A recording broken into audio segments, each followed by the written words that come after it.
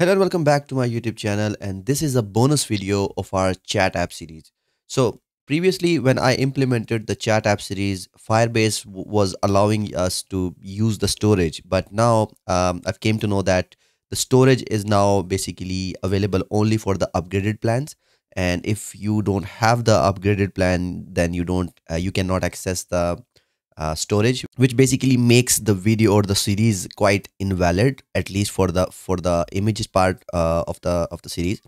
So so so basically uh, to help with that uh, what i'm gonna do is that i'm gonna implement an alternative to the storage. The rest of the stuff would be again firebase but we'll just use a different storage for our images. Now how we can do it? That's something that i'm gonna show you. Now if i load my app you can see uh, that let's say i have this test channel that i want to check. So i'm gonna send some message. Let's say hi. Okay and let's say how are you? So these are the two messages that i've sent. And now let me send you send a message basically. So i'm gonna select a camera. You'll see that the camera was enabled.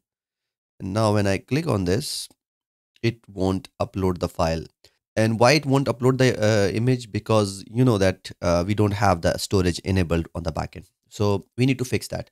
So basically uh, to fix that uh, what i'm to do is that i'm to use supabase uh, supabase is again um, an alternate. It's kind of a provide same features as firebase.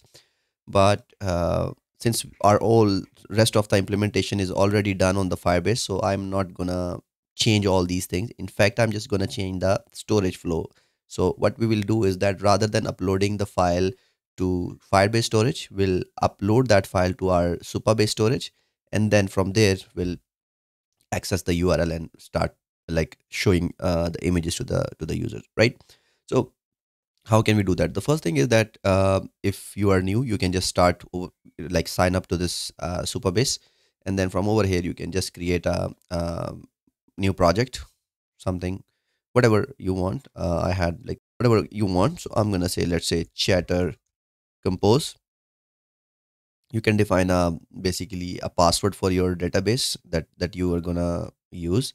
And then uh, i think then there's nothing more that you can do. You can just click on this create new project and it will create that project. Now i have already created this project that is over there. So i'm not gonna recreate the same project again. Now when you open this you'll you'll see something like this. Now over here these are the section now what we need is that we don't need the authentication because we are already authenticating user through the firebase. So so what i'm going to do is i'm going to just use storage. So let's just click on the storage. Now when you get over here into the storage you'll you'll not see anything. Like everything is quite blank. So what i'm going to do is that let just let me just create a couple of things. Okay? So i'm going to use the bucket as chatter underscore images which means this is going to be chatter images. And one more thing that i need to do is that i need to make it public repository uh, public bucket because uh, since i'm not using any sort of authentication or anything like that that is the reason that i have to make it public so that i can publicly access it without any issue. Now this is one thing uh, this is done right so the next thing would be to go to the policies. Now over here uh, when you get into into the policies there is no policies. So what you need to do is that you need to select your bucket. This is my chatter images. That is the my the bucket that i'm using. And from over here let's just click on the full customization. Now over here normally uh, basically uh, the idea is that uh, normally basically you don't want to allow the no- anonymous user or like non-authenticated user to to directly access the urls of the of your content. But since our case is quite different because we are just using this storage and we don't want to uh, port our whole implementation for authentication and stuff like that. So that's why i'm to use it this like this right? So and then uh, the next thing would be to make sure that this is default to all public roles. This means that all the public roles uh, would would basically uh, be applicable to this policy and then we'll click on this review and then save policy. Okay. So once you do that this means now that your policies are set up your bucket is set up. Okay. There is no image like nothing inside this. And now what we need to do is that we need to jump into the code and start working on implementing this um, supabase. Okay. So how do we do that? The first thing is let me just switch back to android. Now over here uh, let me just say um, right now we have these classes. So i'm gonna use click on this and then create a new class and let's call it supabase storage utils. Okay? This is going to be a util class that i'm gonna use. Over here let's just create a bucket and call it chatter and make sure that it is like same as what you have. So it's like chatter images. I'm gonna copy that. Okay and we'll go over here and paste this.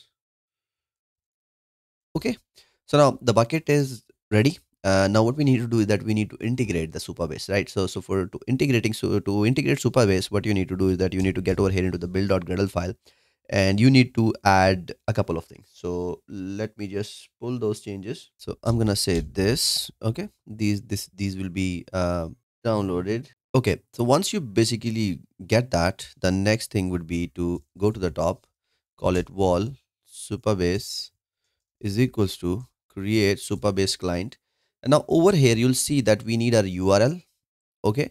And along with the URL, we need one more thing that is going to be the key. So these are the two things that are required and you need to provide these values for uh, so to basically to access it. And how do we get those keys? So basically to get those keys what you need to do is that you need to go to the home okay? And now when you scroll down you'll see these values over here. So let's just copy let me just copy these values.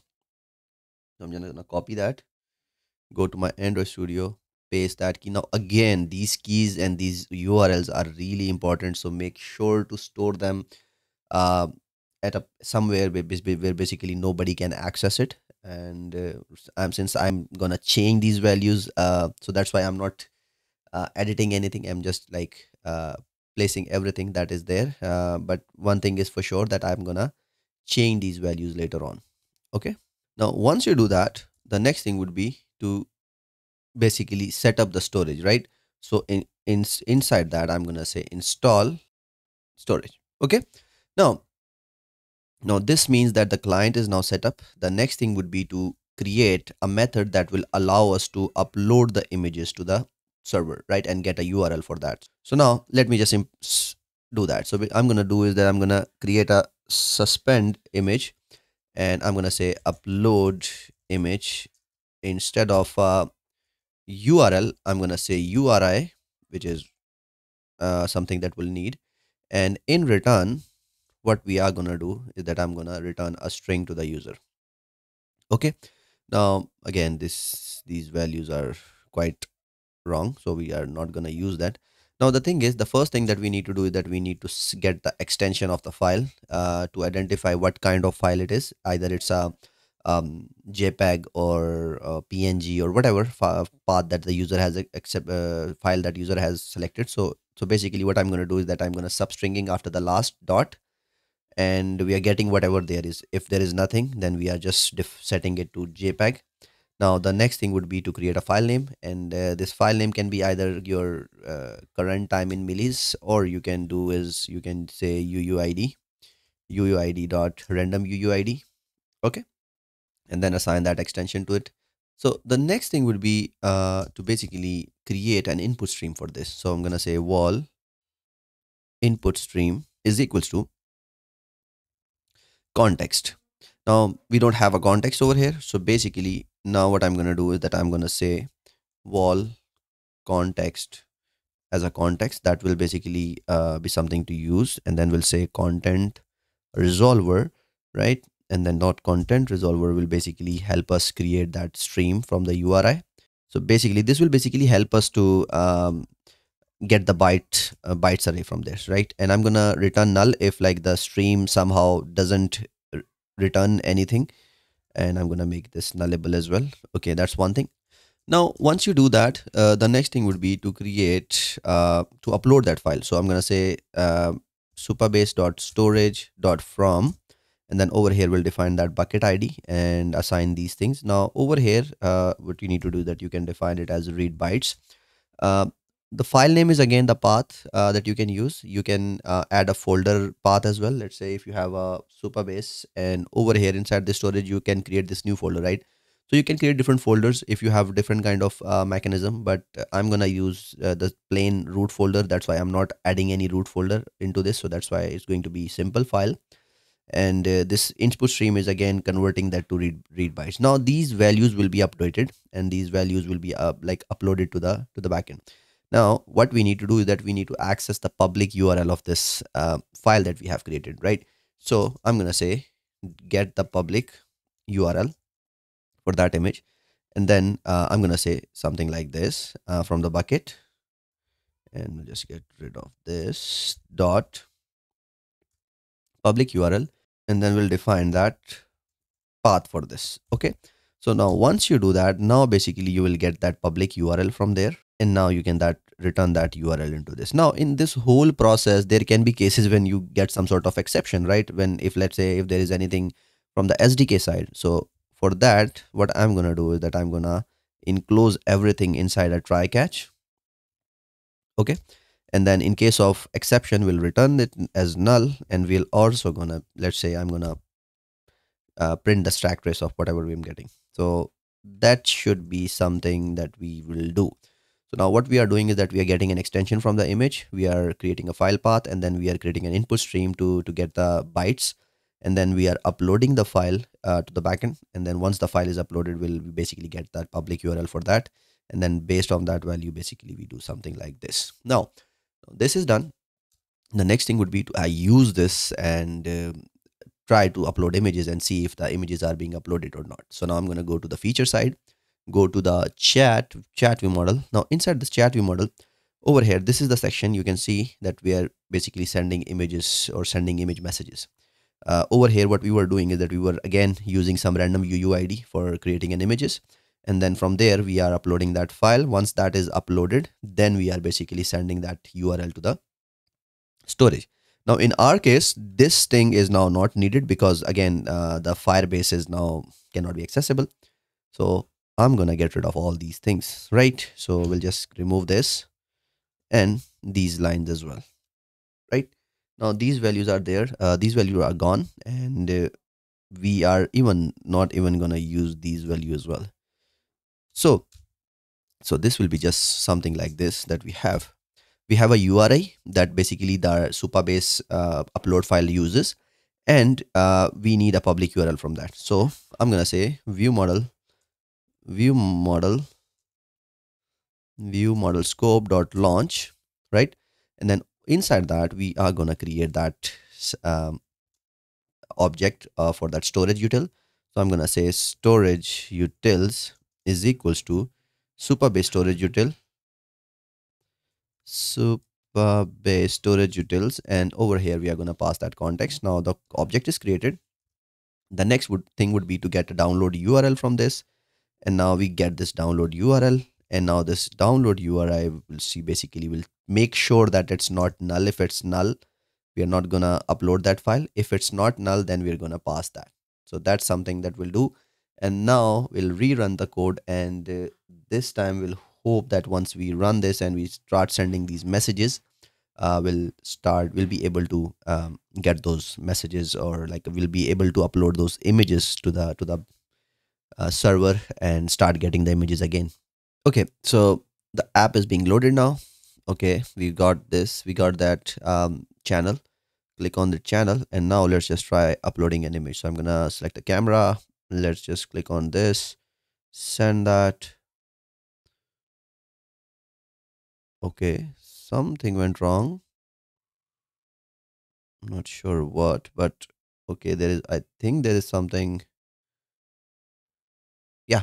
Okay. So basically uh the sdk is now crashing and uh, it's saying that there is nothing Supabase network we are not able to identify the client that we should use.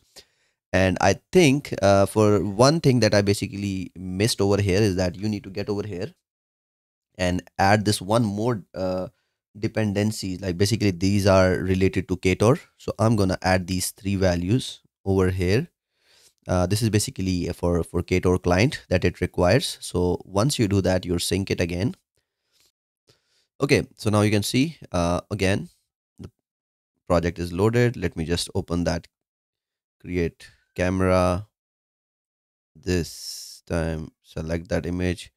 Now we are uploading that image and now you can see that the image is being uploaded and you can see that image over here as well so that was it for today. Uh, thank you so much for watching the video. If you have any question queries please comment down below and i'll try to uh, answer each and every one of you. We have a food app series going on where we have completed the customer side and now we are going to implement the restaurant side. So if you want to learn how to develop a food delivery app you can subscribe to my channel and check that playlist in the in the description. So thank you so much for watching the video. I'll see you in the next video. Till then happy coding bye I hope you liked the video and if you did please like the video, comment down below and share the video with your friends. For similar content you can subscribe to my channel, you can also follow me on Instagram and if you have any queries you can join my discord server where we discuss different kind of things. So thank you so much for watching the video, have a great day, bye.